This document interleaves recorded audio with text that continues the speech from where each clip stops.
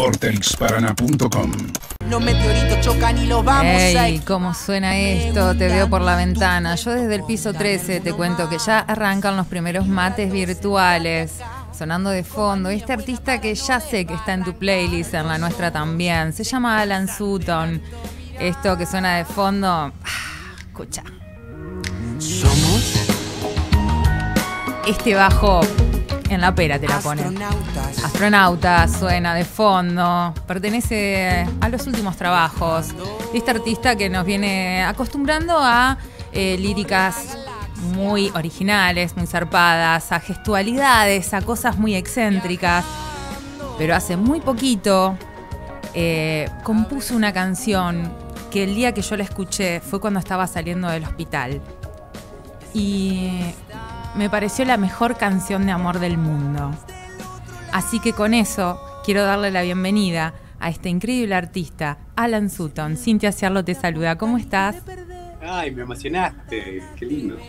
Es que Alan fue muy fuerte. Fin del, ¿Fin del mundo? Fin del mundo fue Me mata que increíble. una canción de amor, está muy bien. Sí, sí, sí. Yo creo que, que cada una no toma las canciones de los artistas eh, y, y las internaliza de una manera seguramente diferente a la que fueron creadas, ¿no? Es que la Pero idea. La idea. y, y me pareció que este último, bueno, lanzamiento que además es verte en un en un escenario re lindo, estimo que es tigre por lo que dice la descripción del video, eh, con una, mm, una estética, una postura que a la cual quienes te venimos siguiendo no estamos muy acostumbradas. Para nada desagradable, pero no es como algo que, eh, bueno, venga como caracterizándote. Entonces fue muy fuerte y me pareció que la lírica completa, una, se lo mandó una persona y ella me dijo que la había hecho levitar. Y dije, hoy, wow, porque no me pasa a mí misma, digamos, no me pasa a mí sola, ¿viste? Son cosas que cada uno las flashea, ¿no? Como, como puede. Así que bueno, felicitaciones por todo esto, Alan. Nos metemos de lleno en, este último trabajo que, que venís lanzando. Hermoso empezar una entrevista así, gracias. Hermoso. Bueno, viste que yo, yo agradezco Nos esto- volvemos a encontrar además. nos volvemos a encontrar, pero además esto, este, los miércoles para mí son como esa cosa que, que tengo como oportunidad para poder eh, charlar, para poder conversar, escuchar buena música, porque una no vi, yo no vivo de esto, entonces es como mi, mi changüí, como capaz que para un músico es ir al ensayo, poder tocar, bueno, para mí es esto. Entonces, claro, me doy estos gustitos y charlar con vos es uno de estos gustitos porque hay un montón de nuevo material, Alan, desde Hombrecitos con los pies en la tierra, que fue la, la última entrevista que hicimos. No me acuerdo exactamente cuándo fue que hablamos, en qué momento del periodo, si era lanzando algún, cuál, cuál de las partes. Hombrecito, sí, sí, Hombrecito, ah, hace un montón hablamos. claro. Y de ahí, bueno, fueron pasando cosas. Pas- pasaron muchas cosas. Pasaron- Bueno, sí, yo, yo creo que esta canción, Fin del Mundo, que es la que vos hablás, que me encanta que digas que es una canción de amor. Para mí es una canción de amor maternal, porque de ahí, algo de ahí está en el origen de esa canción. Pero es una canción que yo compuse antes de la pandemia, antes de que empezase todo esto, y, y de alguna forma fue tomando distintos significados, como lo que vos decís, ¿no? Que, que es re lindo. Yo tenía una profesora de filosofía, voy a contarla muy rápido la anécdota porque No, es por hermosa favor. y va, y va y tiene que ver con lo que vos decís. Que contaba que cuando era chico le gustaba muchísimo una chica que era su mejor amiga y la acompañaba siempre a la casa que vivía muy, muy, muy, muy lejos. Y cuando volvía, venía siempre escuchando eh, la canción Cerca de la Revolución, que viste que dice de Charlie, que dice, pero si insisto, yo sé muy bien te conseguiré. Y para él tomó una, un significado maravilloso. Y era ese, siempre va a ser ese. Y años después escuchó a Charlie una entrevista, le preguntaban por esta canción y dijo, y no, que cuando está re duro, que no sé qué. Entonces, ¿qué vale más? Al final, nada vale más. Pero digo, es hermoso eso. Una vez que uno hace una canción y la suelta, ya es de todo el mundo. Ni siquiera yo la veo como cuando la hice en su momento. Claro, y a mí me pasa con todas eh, tus líricas, porque hay temas como, eh, por ejemplo, Un Limón, que esto pertenece ya a un trabajo posterior, eh, al de Hombrecitos, que es en- seguimos en la tierra, te, tenés un mambo ahí con la tierra, con la Sí. pacha. Por supuesto que sí. Y bien, y bien, buen mambo. Eh, y bueno, y qué sé yo, eh, piernas de mono, este, decisiones de seda. Digamos, qué sé yo, nos encontramos con unas líricas muy zarpadas que yo, digo, te las robo, Alan, te cuento, que te Obvio. las recontrarrobo, porque imagínate yo me las que- robo también. Bueno, pero hay que compartirlo, negro, entonces te- tenemos 100 años de perdón. Me robo a mí mismo. Además, mi, tengo un amigo que me. Va, mis amigos me critican porque me, me cito. Como dijera Alan. No, Pero no, pero- no, no, lo- no, no, no así, ¿no? Pero digo, no, como que llego a esas frases. Hay una búsqueda para llegar a lo que escribo. Entonces después la- las utilizo en mi cotidiano. De pronto me encuentro hablando en mi cotidiano diciendo. Y bueno, ahora no se No se te no se me ocurre, pero ninguna. sí, pero hay un montón, pero tenés un montón. Y, ahí- y ahí quiero entrar, ya que me permitís. Eh. ¿qué, te, qué, te, ¿Qué te disparan, pucha, esas líricas? ¿Cómo nace eso? ¿Jugás mucho? Eh. ¿Haces teatro? ¿Qué onda? No, eh, creo que se debe a que. Eh, mala comunicación entre mis padres. No, mentira. Eh, no, no, qué sé yo, un poco de todo. Creo que hoy en día, como que si tenés que. También cuando te preguntan de las influencias, ¿viste? es muy difícil poner un punto en algo. Creo que es una multicausalidad. No, no, no, no, no sé. Bueno, últimamente estuve como descubriendo más cosas de mi proceso y cómo trabajo, pues estuve ayudando a otras personas a trabajar sus propias canciones, pero mm, al mismo tiempo hay cosas que no, no sé, me, me divierte y, y busco. Ahora estamos en un momento, te adelanto ya que te gustan las canciones, ahora está por salir dentro de poco la canción que más me gusta que hice hasta ahora, eh, al menos como cantautor, es la canción de la cual más enamorado estoy, que se Ay, llama. Más Sencillo. ¿Más sencillo? Ay, me encanta Eh, el nombre. Sí, es una canción que compuse al final de la pandemia, terminando una relación muy larga y muy hermosa. eh, y fue un poquito de todo eso, ¿no? De como lo agridulce de la vida. que Creo que la canción tiene un poquito de eso. La idea, ahora te, te cuento también porque me encanta spoilear cosas. Me encanta, más me si le encanta. más a alguien que le gusta la banda, doy Claro. Eh, ahora estamos con, bueno, después de Fin del Mundo, que bueno, hubo una gran pausa entre las otras, escalonadamente va a ir subiendo desde este Alan eh, que viste en el videoclip más despojado hacia la locura. que Claro. Es la última canción. Y hay cuatro canciones que van a salir. La primera es más sencillo y después tres más hasta llegar al desquicio total. Al Así desquicio que nos total. queda un año movido para fin de año. Vas a ir lanzando así por single, más o menos, en, en- tipo en Sí. cuotas. Nos vas tirando Exacto. en cuotas. Nos va poniendo Este manija en sí. cuotas él. Y en diciembre hay una sorpresita aparte. Alan, ¿qué onda con el tema tocar allá? Porque viste que se están haciendo unas cosas con protocolos, pero bueno, hoy, hoy justo nos llegaba una gacetilla de Luz Espeche, que también es productora, y nos decía, che, es un bardo producir, porque bueno, hay que cambiar los lugares y que esto, que los protocolos. ¿Cómo viene esa movida allá? Y nosotros, por ejemplo, ahora tenemos fechas confirmadas en Mendoza. en- ¿Cuándo, boludo? Que me voy a Mendoza, fin de mes. Me muero si no. estás allá. No me acuerdo el día, pero sí, sí, tenemos fecha confirmada en un teatro hermoso en septiembre. Ah. Y tenemos fecha confirmada en La Plata. Y tenemos, estamos tanteando por allá también, ¿eh? Estamos tanteando Paraná, estamos tanteando... Por favor, por favor. Estamos están todos los lugares, son mucho más fáciles que en Buenos Aires. Bueno, joya, en Paraná, con quien estés hablando, decirle que cuente con nosotras para lo que necesiten. Está, está buenísimo.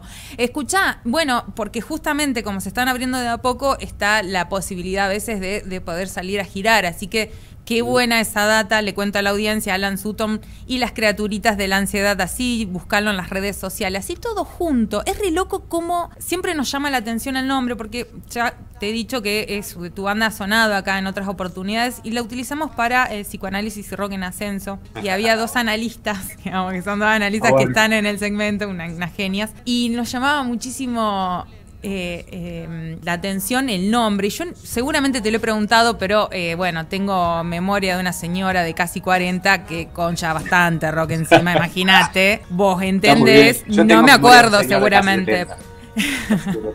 La mía la- está más bastardeada. claro, pero claro, vos vivís en una selva, Bebu. Esa es la diferencia. Eh, pero ¿por qué era lo de criaturitas de la ansiedad?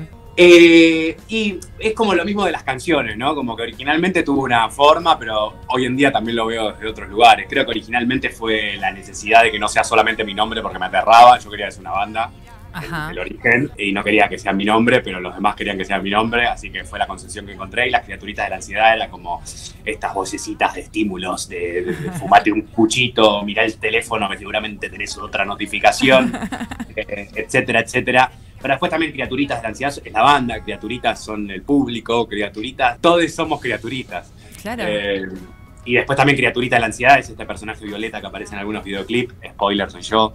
Eh, así que Criaturita de la Ansiedad fueron muchísimas cosas. Creo que también es. eh, eh, parte es que cada quien arme su propia interpretación de lo que es una criaturita de la ansiedad. ¿Tenés músicos que van girando o, o son los mismos eh, en todos los eh, discos? No, son, son los mismos. Eh, salvo el primer disco teníamos otro baterista que se fue, eh, pero se llama también, los dos se llamaban Nacho, así que No te costó nada. no nos Joya. costó tanto eh, decir el nombre, pero no, no. Hay algo bastante de, de comunidad dentro de la banda, si bien eh, las decisiones de la banda las tomamos entre, entre Jero, que es el productor y el guitarrista de la banda, Manuel, que es el manager, y yo, ujú. eh, ese como el núcleo fuerte de la banda, y, después están lo- los integrantes que están siempre con, con nosotros y giramos con ellos. Bueno, porque mm, a mí lo que me, me fascina de, de la banda es... eh, El o- bajo. o yo tengo... Sí, ¿cómo sabías? Me encanta. Porque, porque dijiste hace un rato de la, del arreglo de bajo de astronautas. Ay, vos sabés que yo tengo algo, escucho muchas bandas, por supuesto, por este programa, y hay algo que, que tengo, que no sé si está bien o está mal, pero yo escucho la voz, el bajo y la bata. Si eso me cuadra y me cierra, entró. Pero es como que si eso no está como ahí, como base, como sólido, como bien grabado, bien hecho, es como que, bueno, no, nada, a mí me da la percepción, ¿no? Como que no me llega de la misma manera.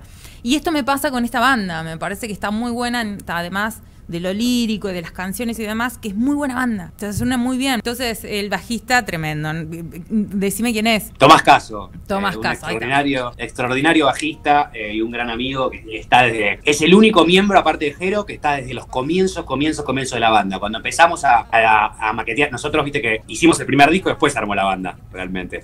Ah, mirá. Eh, y cuando armamos el primer disco, nada más éramos Jero, el baterista anterior, Tommy Caso, Caso como le decimos nosotros, y yo. Y éramos nosotros cuatro. Así que Caso está desde los comienzos, desde el principio de todo. Eh, lo queremos mucho y es un talentoso extraordinario. Pero además porque me imagino que a medida que va pasando el tiempo, se va conociendo, la banda se va consolidando y de ahí va fluyendo esta cosa, esta musicalidad que, que encontramos también porque hoy venía pensando esto, venía, me había puesto en los auriculares eh, el disco en la tierra y venía escuchando, por ejemplo, un, limo- eh, un limón, que se llama así, ¿Mm? este, y después te vas a otro tema que, qué sé yo, no sé, como el mono de ciudad. Y, y tienen estilos tan, qué sé yo, por ahí escuchás un bolero, por ahí escuchás otra.